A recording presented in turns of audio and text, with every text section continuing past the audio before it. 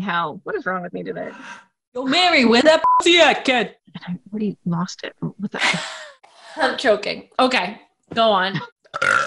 What are we doing? Right. Hey there, booze buddies. Welcome to Paranormal Spirits, where we share a drink, we tell you a spooky story, and then we rip it apart because booze always shows the truth. As always, we will be playing Emily's Drinking Game. Emily's drinking again. Ooh, yeah, yeah. where every time we screw up a word or phrase, we take a drink. So grab a drink and play along with us. Have you ever heard of the Poughkeepsie Seer? The Poughkeepsie Seer? Mhm. I can't say that I have. No. After today, you will. The Poughkeepsie Seer, whose real name was Andrew Jackson Davis, was born in 1826. So this was during the spiritualist movement. Okay, I'm going to read you a little excerpt about how he got his name from this book, Occult America. Great book, everyone. It says the four day old infant was named Andrew Jackson by a boozy uncle who wept with sentiment over the future president and hero of the Battle of New Orleans.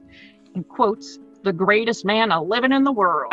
People have heard of the Fox sisters during the spiritualist movements. You know, they were the mediums, and like Mhm. the table rapping and the table lifting and all that. So he was actually before them.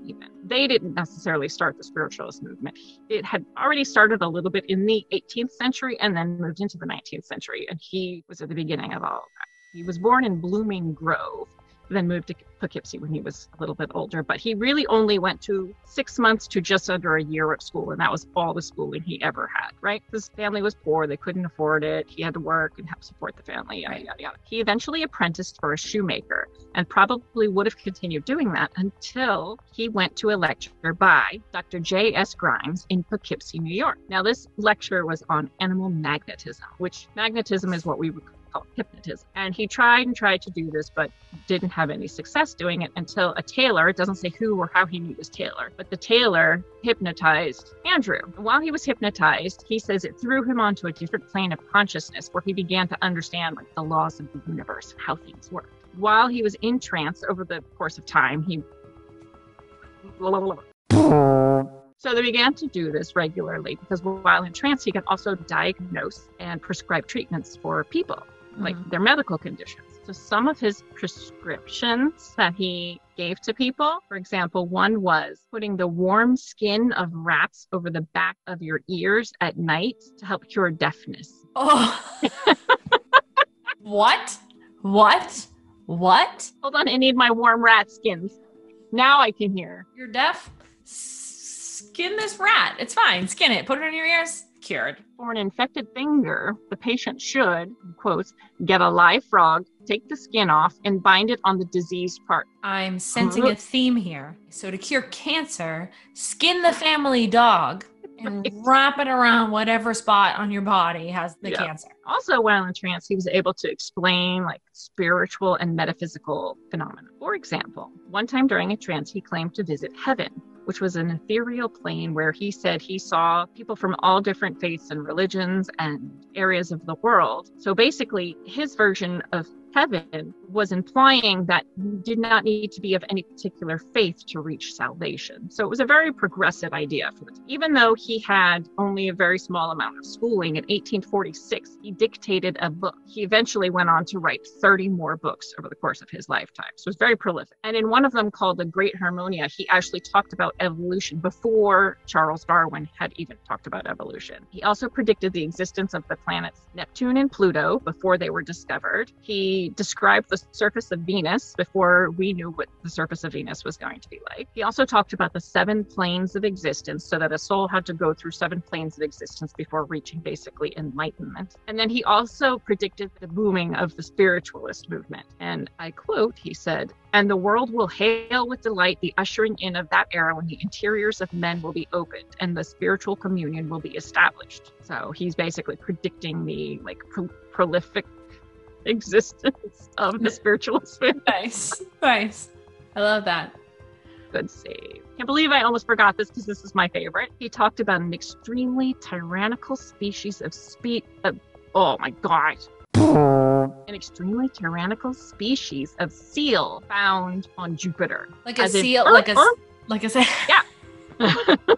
So Jupiter has seal people. It says seal like species found on Jupiter, and they were extremely tyrannic. They're very bossy seals. I said flap those fins together harder. You put everything you have into your. How threatening would a tyrannical seal army be if it was coming at you? Hmm. I have a thought. What if it's not the animal seal? What if it's the musician seal? And there's just a bunch of musical seals running around singing the one song that Seal had. Eventually, he moved to Boston. Yo, kid, tell me those ghost Yeah. stories, dude. Let's talk to spirits guy. where he obtained a medical degree and opened a bookshop and prescribed herbal remedies. I'm not sure how those two go together, but yeah. What?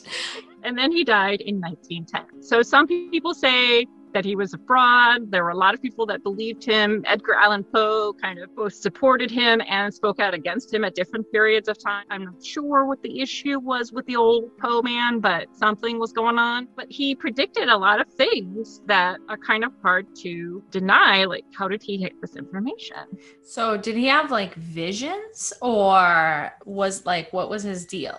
So he would put himself in a hypnotic state, and while in those other states, he was basically like altered consciousness. So he was felt he was on a different plane of existence, and while he was in there, he had access to greater knowledge about metaphysical properties and universal properties.